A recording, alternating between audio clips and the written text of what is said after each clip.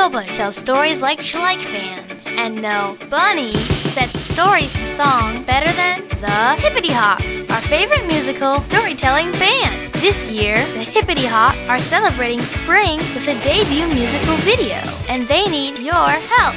Share a story, or go ahead and write us a song about Easter fun and springtime magic. The Hippity Hop will select their favorite, and 10 finalists will receive Schleich Prize Pack.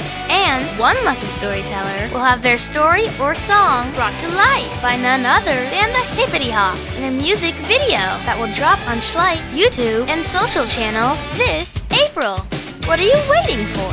Start hopping, er, writing now!